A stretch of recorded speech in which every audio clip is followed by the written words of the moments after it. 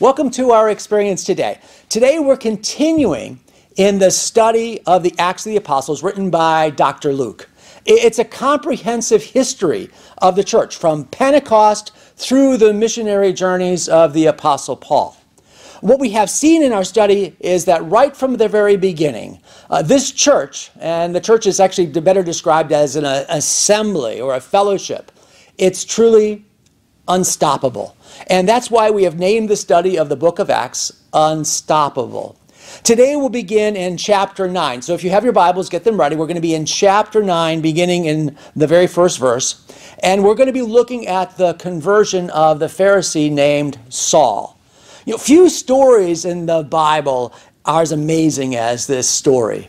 Now, typically, uh, we start every conversation with a look at the context of the scriptures. And today I want to give you some additional information. And that additional information is on the culture of at the time that, that this is happening, during the time of Jesus and the apostles and, and Saul. I want, to, I want to paint the picture for you of what the culture is like. You know, culture is so important. Um, if you take if you if you like old movies, if you look at the movies of the 1930s and the 1940s, you'll see a couple things. Number one, that technology is greatly improved today. Uh, but at the same time, look at the way the people are, are dressed, the way they interact with each other, how they, they talk. And, and what we see is the contemporary culture has changed. And let me tell you, contemporary culture is extremely important, especially if you want to uh, be able to, to communicate a message. The culture of the first century in the Middle East, the area that extends as, as far north as present day Turkey, as far south as, as Egypt, um, that includes all of Judah and Syria and Jerusalem, the culture was very Greek, uh, what the Bible refers to as Hellenistic. What many don't realize the extent of the Greek culture. Uh, it extended all through this Middle East and, and actually uh, the vast majority of the Eastern Roman Empire. You see, there was a young man named Alexander that assumed the throne of his father, Philip II, uh, back in 30, 356 BC at the age of 20. And within a few years, this, this man Alexander took his, his father's uh, very competent army and he went and he conquered Persia, conquered the entire Persian Empire.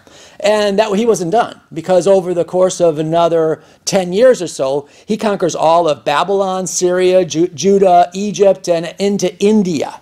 Now, there are two things of note uh, for our study today. First is that while most of the remaining Greek Empire was ultimately conquered by the Romans, uh, back about 150 years before that, 150 uh, BC, the Greek culture was still uh, uh, prevalent. It was the Greek culture that gave us our concept of uh, democracy, our theaters, our, our modern Olympic competitions, and, and, philosophy. The greatest contributing influence of the Greeks in this time during Paul was the Greek language. It was the Greek language that was the, the most common language throughout much of what we know as the Eastern Roman Empire. The second thing of note here was that the rise of the Greek Empire, including the defeat of the Persians and then the defeat of the Greeks by the Romans, was all part of a prophecy that, the, uh, the, that uh, Daniel uh, gave uh, when he was interpreting a dream of Nebuchadnezzar's. Remember, he saw, Nebuchadnezzar saw a statue that had a head of gold, chest of arms of silver, uh, belly and things of, of, of bronze, and feet of iron and clay. It was a prophecy that was so amazing. Skeptics can only say that it must have been inserted into the Bible uh, after it happened because it was, was so accurate. You know, when we see prophecy, we should immediately remember that God is, is sovereign. God is the only one that raises up kings and, and kingdoms and brings them down. It's the same God that raises up prophets and apostles. It's God that's doing the work, and we'll see that very clearly today as we talk about this conversion of Saul. Jesus was a, was a Jew, And, and Jesus had said that salvation is of the Jews. However, it's also clear when you read the scriptures that the, the, the, gospel of Jesus Christ was to be taken from Jerusalem into Judea and Samaria and all the outer parts of the earth. The Bible is clear that the church would be comprised of both Jew and Gentile, slave and free, men and women, barbarian and Greek. Jesus and nearly all the apostles were not only from Israel, but they were from a, a very small town in Galilee. Not only was the culture of the Jews very distinct, very different than the Greek culture, but these men from Galilee were even more distant, more distant from the Greek. Beginning with the selection of the first deacons, the, the church began to appoint Greek speaking Jews. These were Hellenists to positions of leadership and, and service, the, the first deacons, for example. Today, we know this attempt as, as diversity. And we embrace diversity in order to get our message, our products and goods and services into other cultures.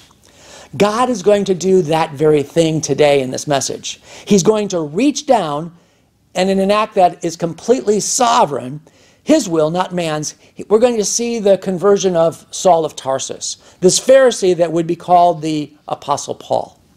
So let's read these 19 verses in the ninth chapter of Acts.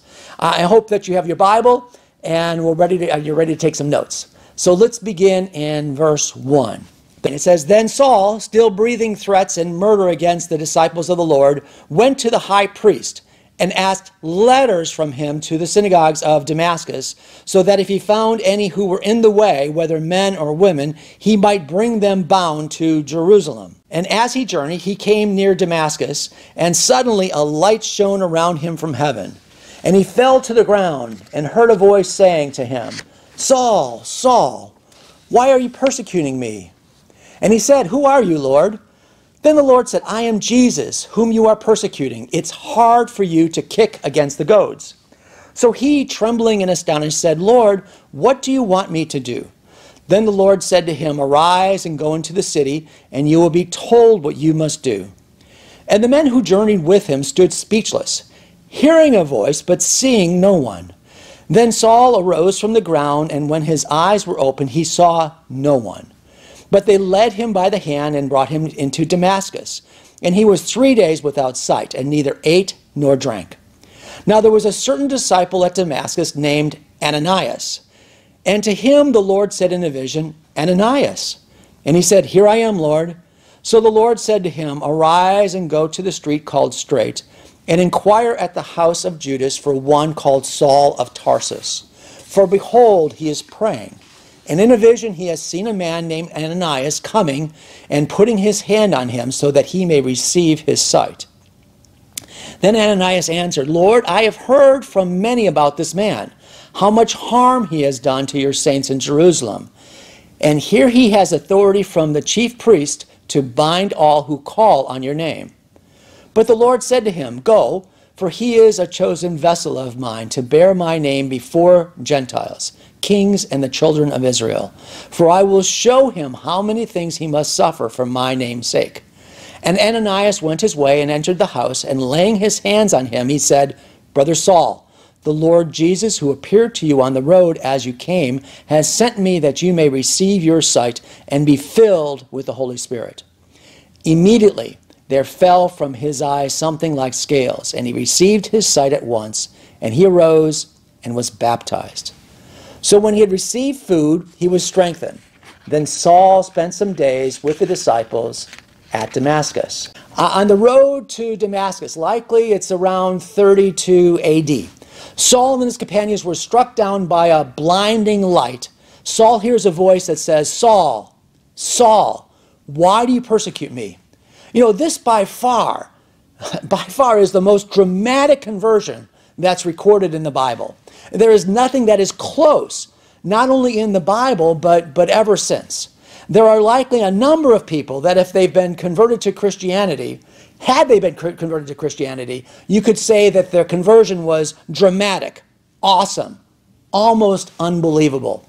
Uh, one of the people that comes to mind is Madalyn Murray O'Hair, the famous atheist who got Bible reading kicked out of public schools here in the United States back in 1963. Her son, who actually ended up becoming an evangelical pastor, said this woman, his mother was, and I quote, an evil person for not an evil person, not just for removing prayer from America's school. No, she was truly evil. You know, her son, whose name is Bill, did something his mother would loathe. He gave his life to Jesus Christ. Think if this evil woman, as her son describes her, who hated God and Christianity, had been converted before she died, that we would say would be dramatic, awesome, almost unbelievable. One more example.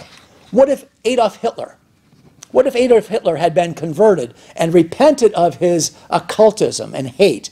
And what if six million Jews that died, uh, that were systematically murdered, um, as would have been saved as a result of, of Hitler's conversion? If that had happened, we would say that would be truly dramatic, awesome, almost unbelievable. You know, today we're nearly 2,000 years removed from the conversion experience of the Apostle Paul. And unless we truly understand what Saul was doing and what he was planning and the impact he was having at the time, we may miss here what God is, is doing. This section from the scriptures begins with the words Then Saul, still breathing threats and murder against the disciples of the Lord, went to the high priest and asked letters from him to the synagogues of Damascus, so that if he found any who were of the way, whether men or women, he might bring them bound to Jerusalem. Now, Paul, and by the way, Paul is just the, simply the, the Greek name for Saul, is one of the most important characters of history. It's it, not just history, all, not just church history, all history. Other than Jesus Christ, there's no other person that has been so influential, so prominent in the history of the world. As Paul wrote 13 of the epistles, nearly 30% of the entire New Testament, his influence continues to this very day. God sovereignly chose this man, Saul of Tarsus, to be Paul the Apostle, his chosen messenger to not only to the Greeks, but to the people of the world. And Saul was not just a, a learned man that could be used greatly. Saul, remember, was the enemy of the church. However, while Saul of Tarsus hated the disciples of the Lord, the people of the way as they were called, he possessed two qualifications, two characteristics that were going to be used by God. First of all, Saul loved God. He thought that what he was doing in persecuting the church, this and this, the disciples of this man, Jesus of Nazareth, was done for the love of God and the Jewish religion. Secondly, Paul was extremely well versed in the, in the scriptures. He had memorized much of the Septuagint, the Greek Old Testament, and he could quote both from the Greek version as well as the Hebrew version of the Old Testament. So our scriptures say Saul was breathing threats and murder against the disciples of the Lord. Now, have you ever asked the questions, why did he hate the disciples? Why did he hate the Christ followers so much? Well, I believe part of this is because of his Greek background. The small sect of, of Jesus' disciples is, is growing. The church is expanding and exploding by the thousands, possibly the tens of thousands. And he is infuriated. This man Stephen went into the Greek synagogues, and, and these Greek synagogues were they were home turf for Paul. Uh, the Greeks loved to argue. They called it rhetoric. Uh, as defined by Aristotle, it was the great art of persuasion. And, and Saul was, was very good at it, but he couldn't out argue Stephen. So he silenced him. Uh, now, we don't know whether or not Saul was actually the leader of the group that stoned Stephen to death, but he was there. He was complicit. Years later, Paul said this, and it's recorded in the 26th chapter of Acts. Paul says, I myself was convinced that I ought to do many things in opposing the name of Jesus of Nazareth. So, and I did so in Jerusalem. I not only shut up many of the saints in prison by authority from the chief priest, but then I put them to death. I cast my vote against them and I punished them often in their synagogues, and I tried to make them blaspheme. And in raging fury against them, I persecuted them even into foreign cities. So that was Saul. But let me introduce you to God. Verse 3 says, And as he, that's Paul, journeyed, he came near Damascus, and suddenly a light shone around him from heaven. And he fell to the ground and heard a voice saying, Saul, Saul, why are you persecuting me? And he said, Who are you, Lord? And the Lord said, I am Jesus, whom you are persecuting. It's hard for you to kick against the goads. So he, trembling and astonished, said, Lord, what do you want me to do? And the Lord said to him, Arise and go to the city, and you will be told what you need to do. Now, realize that Saul is not traveling alone. He's headed to Damascus with a large, uh, he's headed to Damascus, and Damascus is a, a large, cosmopolitan Greek speaking city of about maybe 150,000. Saul is with an armed force. Likely, these are temple police. His trip from Jerusalem to Damascus is, is significant. It's not a, a light undertaking. Historians tell us that as this was a group carrying provisions, it would take a better part of a, a week to travel north from Jerusalem all the way up to Damascus, through Samaria and into Syria. And, and perhaps while he was on the way, Saul, who was already angry, who was already furious, possibly heard other reports of more of the Samaritans, more of the people turning to Jesus of Nazareth. And we know that Saul's intentions were uh, we saw him last in the previous chapter. It says he made havoc of the church, entering every house and dragging off men and women, committing them to prison. You know, we've had some, you have some pictures from the Renaissance period of this, this man, Saul, crumpled up on the ground with a, a bright light around him. But presently, Saul is a, a dangerous, angry, very violent man, absolutely convinced of his own self righteousness. But here's the point Saul is exactly where God wants him. You see, all through the Old Testament, when God did things, he often chose to make it harder, to make it more spectacular. Remember the story of Gideon. Uh, Gideon, God told Gideon to get rid of 98% of his soldiers.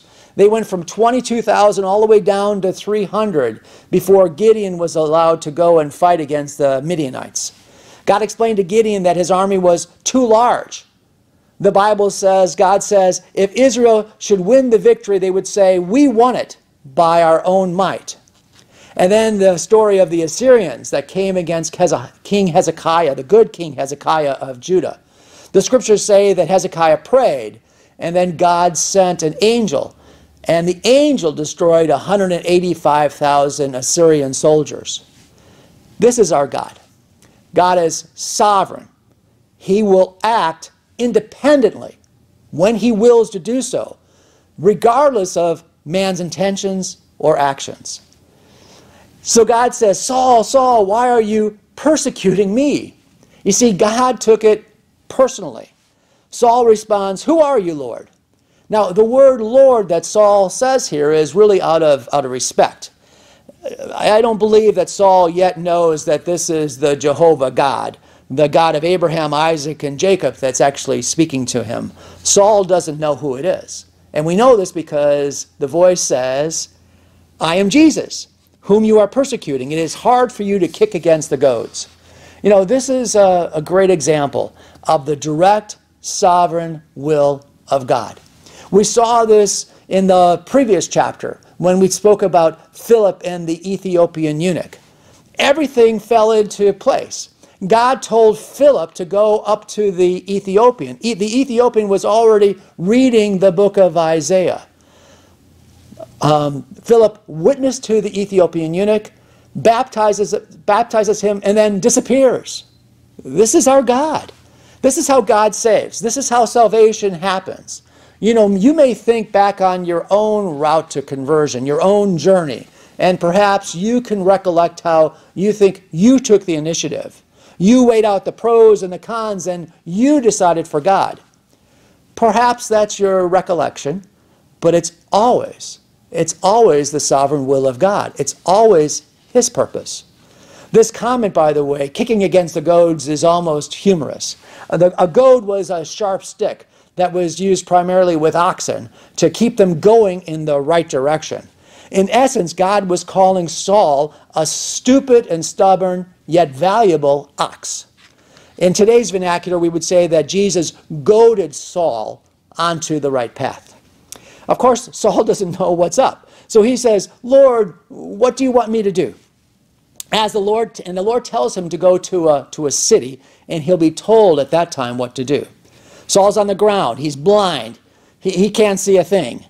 Uh, there was a bright light from heaven that blinded Saul, and of course the Lord's voice. But the people traveling with him, the scriptures say, uh, they indicated they, they, saw, they saw something, but they, they didn't know what was going on. Now, these people, these people with Saul, led him by the hand because Saul is totally blind into Damascus, and he stays there for three days and nights, and he neither eats nor drinks. So, so what do you think Saul was doing during these three days? Well, remember, Saul was charging these people, the people that he was persecuting, uh, with heresy because they were claiming that Jesus was the Messiah. He was the Son of God. Now, Saul had likely heard not only Stephen, but probably had heard Peter as well on the day of Pentecost. He'd heard what they said about Jesus, the Messiah. He luckily was there when Stephen said at the very end of his, of his sermon, I see him, the Son of Man, standing at the right hand of the throne of God.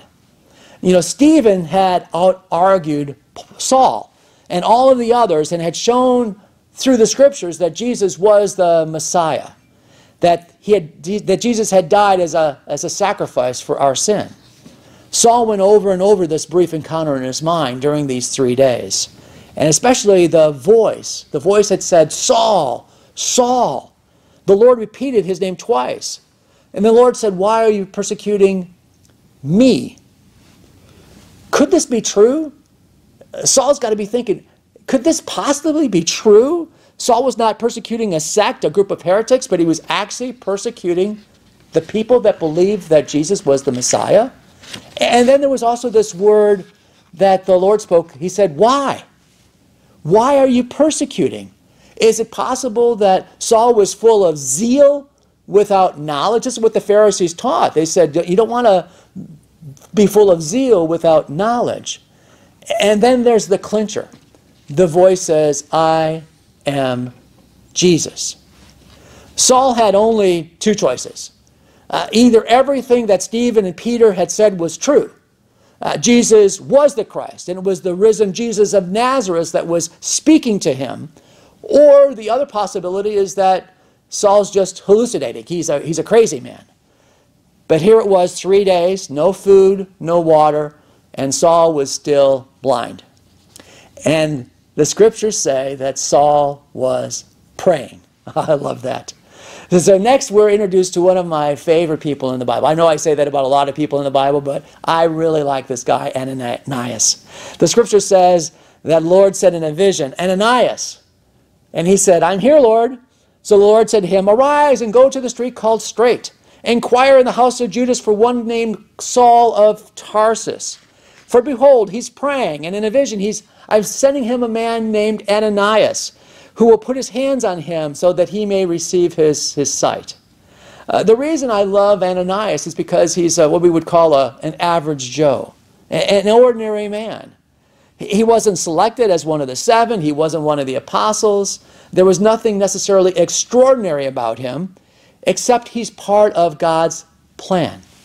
God had been working completely independently up to now. And truth be told, God could probably accomplish what he needs without Ananias, but he chose Ananias to use Ananias for a purpose that God sovereignly sought.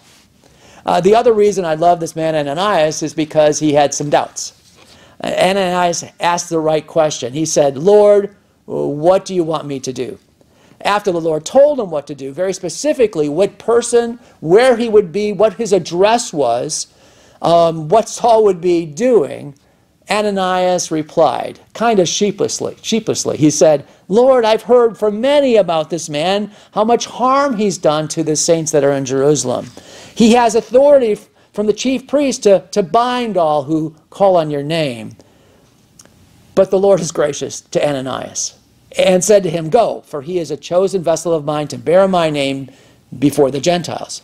Now, Ananias' objection, objection is, is perfectly logical, and it's well stated, well founded. But the scriptures are not kind to those who, who talk back to God. Ananias obviously had a, a good heart for God. And God reassures Ananias that it's all part of the plan. Ananias gathers up some courage, follows the instructions of the Lord, and lays his hands on Saul. You know, it's interesting that this is so early, literally only a few years since the Holy Spirit had descended at Pentecost, but the people know exactly about the laying on of hands. Ananias says, Be filled with the Spirit. Now, it's interesting. Some people question when, and, uh, and, uh, when Saul was converted, but here it is, right here. It's when he's filled with the Spirit. The Bible says that it's the Holy Spirit that indwells the life of the believers. Uh, we, in, the, in the parable of the foolish virgins, we said that the foolish virgins were foolish because they didn't carry oil with them. And oil is a symbol of the Holy Spirit. That was Saul receives the Holy Spirit, and he's healed of both his physical blindness as well as his spiritual blindness. This is, a, this is a great picture of salvation. The blind man gains his sight, scales fall from his eyes. Through the laying on of hands, the Holy Spirit comes into the sinner's life, and the Spirit is quickened. The man is born again. And it's sudden, it's immediate, it's like the wind. You, can, you can't see it coming or going, but you can feel the effect of it. Dr. Luke adds this story of Saul just at the, at the right time. Persecution had broken out, and some chose to flee, but some chose to stay.